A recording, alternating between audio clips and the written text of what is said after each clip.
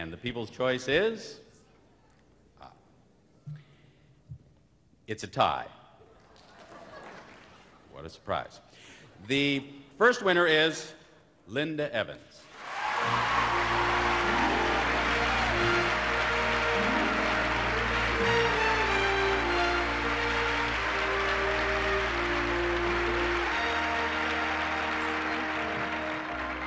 I am so happy to have this, I cannot tell you. I love doing Dynasty. All that lust and greed is really a lot of fun to do.